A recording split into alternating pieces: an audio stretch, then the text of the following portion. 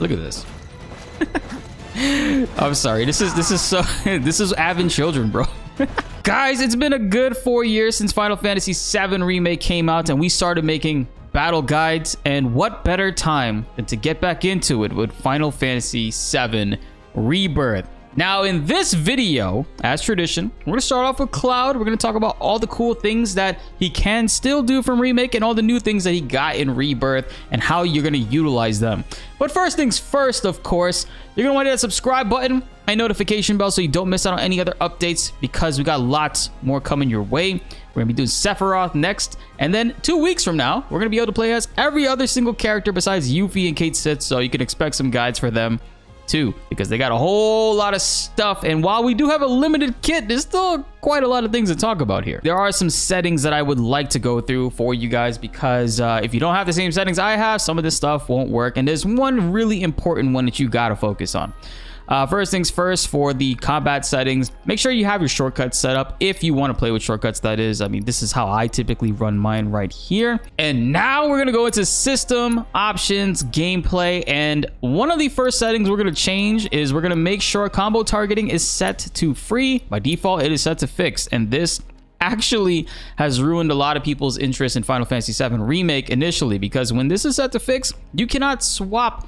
mid combo string to another target and start hitting them. You can't manually do it unless you switch it to free. And then you can freely hit one enemy, jump to the other enemy, hit the other enemy, another enemy. So much better. Trust me, do this. If you didn't do this in Remake, you might want to go back, play Remake, and try this out. It completely changes the way the game plays. Trust me on this. If you've been playing Granblue Fantasy and you're really used to having your abilities tied to R1 and blocking with L1, you might want to enable this. Enabling this does it so that it swaps your R1 to being your shortcut abilities and your L1 to being your block. But if you don't mind that, just leave it disabled by default. Now we're going to talk about the camera. For me, my personal preference, I like having the camera maxed out all the way. I just like to see the entire field of battle. I know some people might not like that, so feel free to run it however you want. You don't need to do that. I have all four or five of these camera options on. I think honestly, the attacked target correction is a very good thing to have, especially if you're not very adept at moving the camera around in the middle of battle. And it can get kind of annoying to have to do that and feel kind of clunky. So this will actually correct it and face you towards that target so you can actually see them. Responsiveness, I personally like four. Some people play on five. I feel like five is a little bit too fast and just kind of feels weird. Three is not bad too, but that's by default. I keep it on four. It's just okay for me. Now, this is very important. So in the original Final Fantasy VII Remake, by default in this game too, you're set to R, the right stick for the camera controls. This makes it so that when you move the camera, it actually switches who you're targeting. It's very annoying to have this on. It's really frustrating. So in Remake, they also had this other option for menu controls where you use left and right on the D-pad to switch between the targets. Much better in my opinion. But in Rebirth, they added an even better one. And auto camera. So if you read at the bottom right there, it adds a new feature. The camera will follow the target when not actively controlling the camera. This is very perfect. I know a lot of people are having I'm leaving people are leaving comments right now in this demo and don't know that this option exists, this is for you guys. This will make it so that when you're targeting the enemy, it actually will follow them, follow the enemies, and without you having to move the camera around. You won't have to do it as much at least. And lock-on switching, I like direction input rather than switch in order. Direction input makes it so that when the enemy is in front of you, if there's one to the right, you're gonna switch to the one to the right. It's not gonna, you're gonna press right sometimes and it'll go to the one on the left, depending on the order of where the enemies are. Direction input, in my opinion, is the best way. I take screen shake off. While it is does provide a really cool effect, it'll make it very difficult to like see things. And graphics, I keep it in performance. You can totally play in graphics if you want. The issue with it is, I mean, yeah, performance is blurry. Let's face it, Square Enix, you got to fix that. It does not look great at all. It's This game is way too beautiful to be looking the way that it does in performance. However, the controllability, the functionality of the characters, the game's fluidity is just way better in performance. And yeah, you just got to play it on that. And other than that, everything else, I don't change. I mean, you could adjust this however you want, but that's not really that important. So now, let's talk about Cloud. So Cloud's regular square attacks function the same exact way, where you have your four or five hit combo, and on lighter enemies, it'll actually launch them up. And in the middle of his uh, square attacks, you have your hold square function, which is the same animation, but it functions entirely differently now. You'll see The holding square animation, it cleaves enemies and any enemy caught in the ring of the cleave. If they're light enough, Cloud will pick them up and group them together. So let me see right here. I'll show you guys. Boom. See that? It pulled the enemies right in on Cloud. Hands down, a very great change. I use this move a lot. I used to use it as an extra hit at the end of Cloud's combos to just give him an extra, like, thing right there. You see right, here, it just kept him it's so perfect. This is going to group enemies up, especially in team combat later on when you have a full party. And also when you get other abilities as Cloud. Like, for example, if he gets um, Finishing Touch in this game, if, if that is a limit break, I'm pretty sure it is, that's going to be really good to group the enemies up. Now we're going to talk about Cloud's Punisher stance. Punisher stance is his uh, triangle Punisher mode. When you see you're in Punisher stance, it'll be highlighted in the bottom left and say Operator mode. While you're in this, you actually get a parry. Cloud can hold the block. It's the same way in Remake. If you hold block, it's gonna parry the enemy's attacks. Some big attacks, it won't parry that, unfortunately. And it has an entirely new animation. See right there? It's, it's hitting both of them. You can actually like hit, if there's like five enemies, small five enemies, you, you can totally just keep juggling them over and over again. It, it, it does have a very good effect in that way. RIP to Disorder. In Punisher Stance, the first hit of Punisher Stance is actually Cloud's move from Remake called Disorder, which I absolutely loved this move. And big rip because because of the fact that this is now integrated into a melee hit, it no longer is an ability that you can abuse and use. So for those that don't know, Disorder was one of Cloud's best moves in Remake. It launched smaller enemies in the air, and upon its hit, it would refund ATB that you spent on it. So you could spam it and cheese enemies with Synergy, just like Tifa could in Focus Strike, and also another rip to that move too, because that also doesn't refund ATB anymore. But Disorder will let you swap stances simultaneously and had a harder hit if you used it while you were already in Punisher stance. You can basically use that to switch stances for Cloud and deal big, big damage.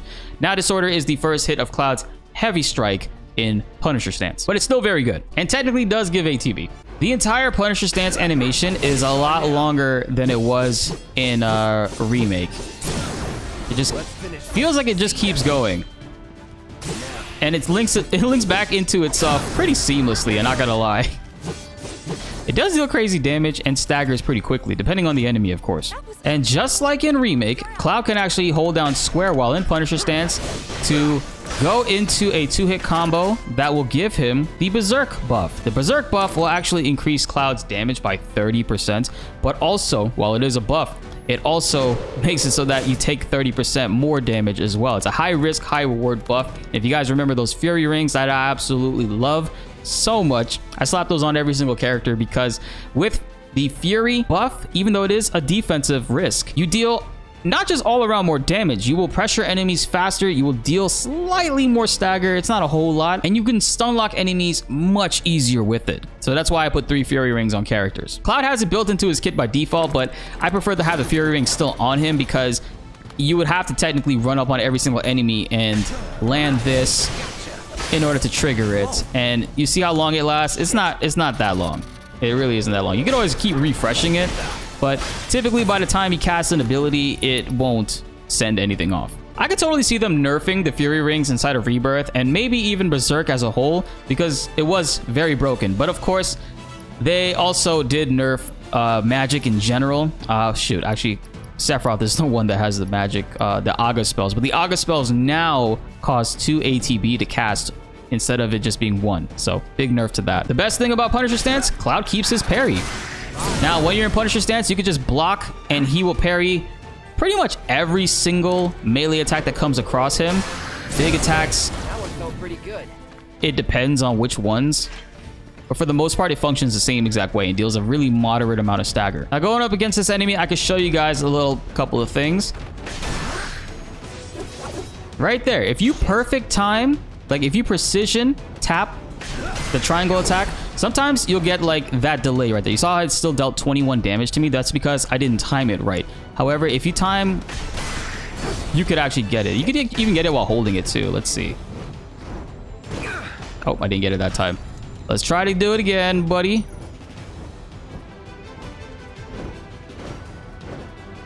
There you go. Perfect time right there. You see immune, it knocks the enemy on their ass, and it doesn't deal any damage to Cloud.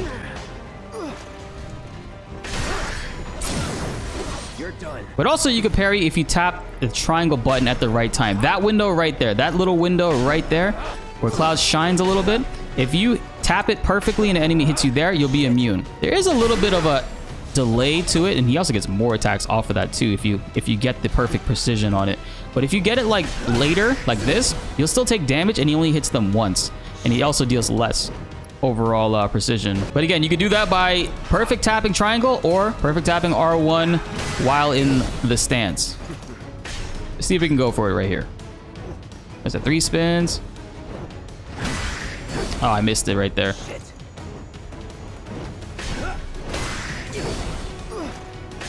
Come on. There we go. See, that was a perfect R1 right there. But you could also get it with the quick tap of this or that. Now, what I am a little disappointed in, though, Pair Punisher mode has been nerfed slightly because since synergy moves are tied to your R1, and which is your block, you can't just mash Punisher mode and go into it. That's what I used to do. I used to be able to like just tap it and go into it, and it would look like that, but that's not how it works anymore. See, like if I'm holding block and I'm mashing it, it's not going to uh, switch Cloud into it, unfortunately. That was a thing in Remake, but it doesn't function the same way at all because Synergy skills is tied to R1. But now, in Final Fantasy VII Rebirth, every character has a precision block. See, you just hold R1, tap R1 at the right time right before you get hit. You can kind of spam it too, like if you get really good with the window time. okay, this actually, this enemy is a pretty good uh, practice dummy for it right here. You can just keep doing this over and over again. yeah, okay, Screamer enemies are the ones to practice on. okay, I'm getting better at it now. Now, this isn't exactly a new detail. If you remember, in Final Fantasy VII Remake Intermission, Yuffie's DLC, when she was introduced as a character, they actually implemented this into her kit, and it and hers functioned differently. It didn't knock enemies down. She would take no damage, and she also gains a defensive buff. It might function the same way for her in this one, but everybody I've seen, uh, Sephiroth, I've even seen in the trailers with like Tifa and Aerith and them, the perfect block. I'm calling it perfect block, but it's called precision guard, I think, will knock an enemy on its ass and deal a lot of pressure damage to it. Precision blocking. But again, any character can do this. Cloud can do this in or out of the stance. He could do it in the middle of battle if you're fast enough. What's also really cool is you could actually...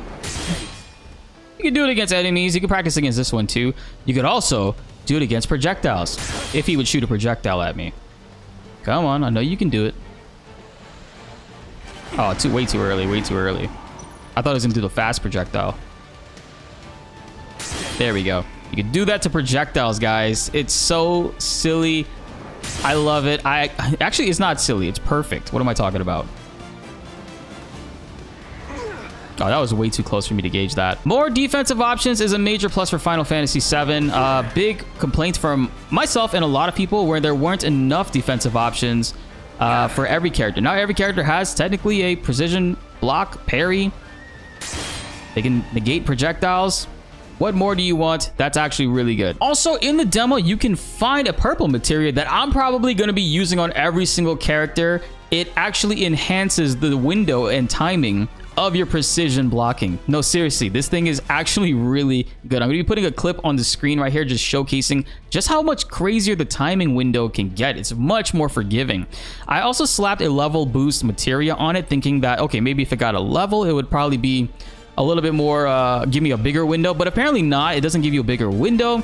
It does give more stagger damage to enemies, which is great, of course, uh, especially for like the demo and early game stuff. But uh, in general, the window does get a lot better. It's easier to manage, and in my opinion, probably going to be a very solid materia for people to use just to cheese out bosses. Unfortunately, in the demo, when you get precision defense materia, there's not many, there's only like two other enemies you can really test it against. The little grasshopper enemies and then the actual, uh, the materia keeper boss. But hilariously enough, you can actually precision block Trine. I don't know why. That's just so fucking funny to me. A whole brand new inclusion for Cloud is that he could blade beam enemies at will. No, seriously, if you are launching projectiles with a sword, dude, there's nothing better in life than that, right? to do this, all you gotta do literally is just dodge and mash square. Oh, he hit me in the last one. You can dodge away too and hit enemies with it. It's so good. It's really, really good. The last hit will uh, hit enemies multiple times. It puts like a dot on them. See, boom, boom, boom, boom. It actually does kind of like the Aerith Tempest fully charged effect, which is pretty dope. And it's pretty cool. It doesn't actually miss. Like if you if if an enemy's like moving, it seems like it's going to hit them no matter what. And not only can you use this on the ground, you guys can actually use this in the air. Yes. Look at this. you can use this in the air, bro, and you can use it an infinite amount of times as long as you're dodging, guys. By the way, guys, it gets even crazier. Hilariously enough, you can literally stay in the air with Cloud forever. I... I'm just matching circle just circle and facing in any direction. All you got to do is just literally mash circle in any way. And you see how long up he stays there? You can actually just keep going this way over and over again. Uh, it's too funny. If the ground was, if there was like a rock nearby here, you'd actually be able to like uh, cheese that a little bit more. You're done. But how do you go in the air now with Cloud? All you gotta do, and you can do this with everybody, I'm pretty sure. You gotta just Tap circle and hold square. He will launch one of the blade beams, but he can stay in the air. And again, guys, that's literally uh, dodging. And then holding down square. It puts Cloud in an aerial state. It's honestly the biggest improvement in Final Fantasy VII Rebirth from Remake, in my opinion. The, the aerial combat in Final Fantasy VII Remake was so lackluster, so annoying. Like, fly, flying enemies were just so ridiculous. It was such a chore to fight them. You just didn't feel fun fighting them at all. But literally, I mean, look at this, bro. This is...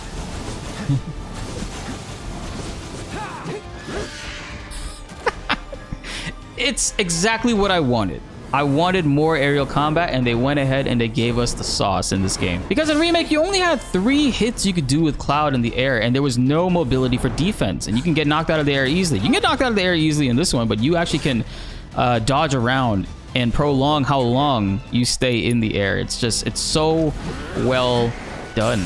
Like, look, against these enemies, I'm just gonna go here. Uh, because they're in the air, I think Cloud is just gonna, like, stay in the... Oh, wow. I dodged into the direction of that. That's my bad.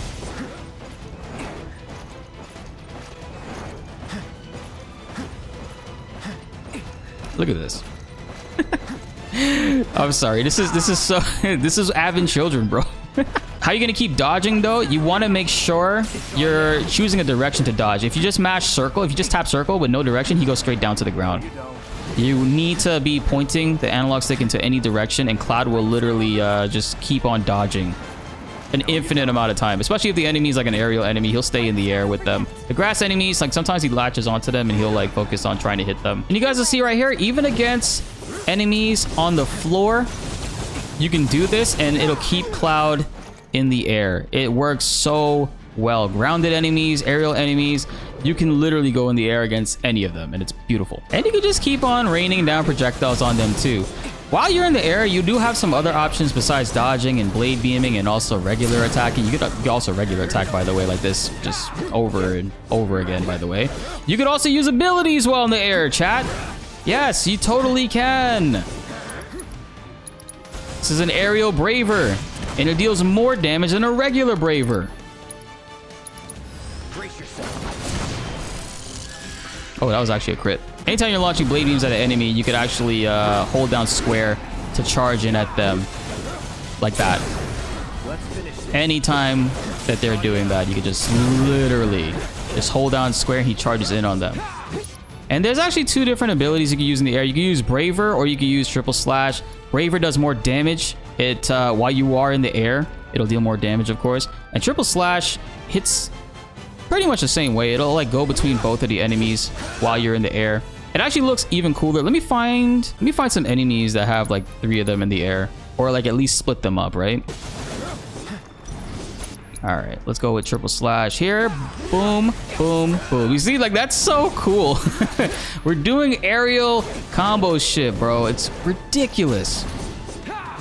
While you're in the air, you can also go into Punisher mode, but the problem with that is, I mean, it's not a big problem, but like, you just get one hit. You knock the enemies down, and then you go back straight into your Punisher hit. So while you are in the air, and I'll do it again. You go with that. It just literally you slam down, and he hits them hard, and he'll he'll basically slam them down and knock them back up. It's a pretty cool combo. If it's a fight you want. Ooh, look at that group up. All three of them grouped up right there. And let's see, if I Braver them, will they all hit all three? It will.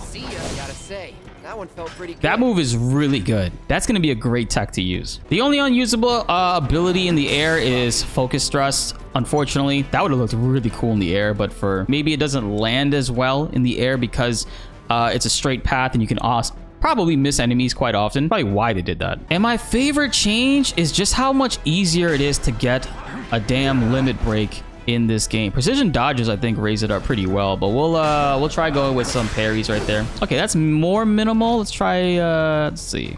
I know if we stagger, we'll get a lot. You saw how much that was? Staggering enemies, precision blocking enemies, just in general, being on the defensive side of things, it really can boost your limit breaks a lot. There's a lot of times, I mean, I'm, I'm sure a lot of you guys have probably experienced this in the demo, but you're, you've been able to get like back-to-back -back limit breaks super quick just because you were precision dodging and precision um, blocking things, which is a big complaint in Remake. I mean, it felt like majority of the times you were not getting a limit in fights. I do wish you can kind of like uh, retain the limit break over and carry it over into another fight like in the original Final Fantasy VII, but I understand why. Limit breaks can get kind of broken in this game. Now we got to talk about some of the synergy abilities, right? So now when you're holding R1, not only are you blocking, but you are also, oops, you are also having access to the synergy moves. So like Cloud and Sephiroth have one with uh, Void Shatter, which I'll show you guys real quick. If we can get this dude pressured.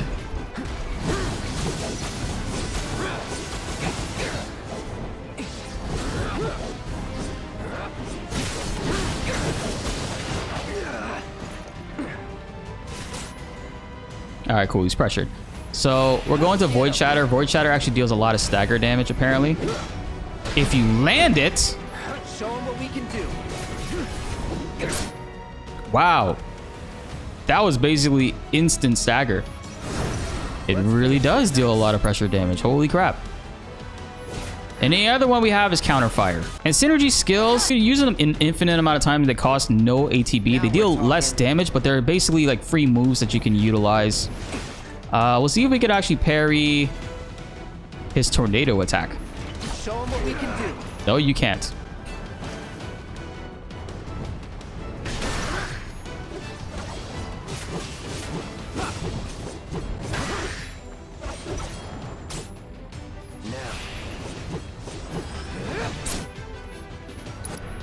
Instantaneous.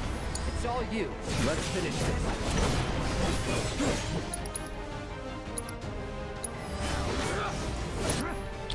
Give y'all a little bit of a sneak peek into the Sephiroth.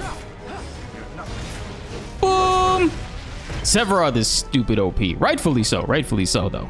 Honestly, guys, Cloud is so much better this time around in the game. Not like he was bad before, I'm it's gonna take me a little bit to get used to that. You could also like dash through them. I noticed that like when you go into a Punisher mode, I think it's like after you parry. Let's see. We'll get him out of there, and I'll do a I'll do a Punisher mode parry. I'll do a standard block parry. I think, yeah, you go right through them. That's kind of cool.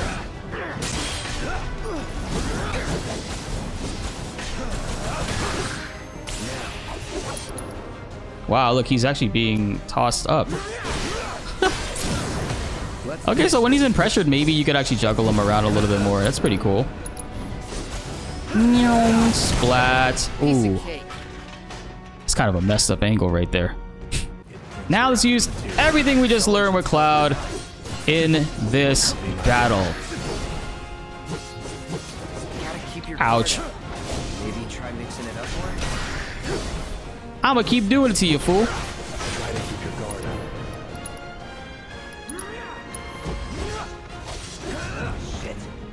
Oh my god, we gotta use Sephiroth. Sephiroth gets in the air so much easier. When we're done. Of course. Try to mix it up a little. Oh, I should have did that earlier. Also see Sephiroth. It does cost 2 ATB to use uh, Aga spell, which is... That sucks.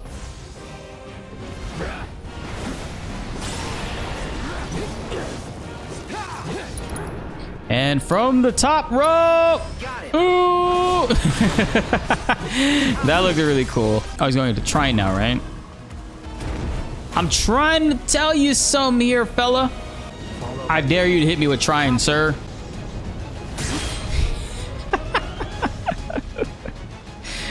That's just is that just funny to me? Like I, I find that absolutely hilarious in the in the best ways. But guys, that is how you play as Cloud in Final Fantasy VII Rebirth. At least in the very beginning. We're gonna be doing advanced guides for all the characters once the game fully comes out, of course, but we're having a lot of fun. I've been really enjoying Cloud's gameplay in this. He functions just as good as he did in Remake, but somehow even better, regardless of the fact that they did remove Disorder, and who knows, maybe it comes back as an individual ability. I doubt it, but we'll have to see.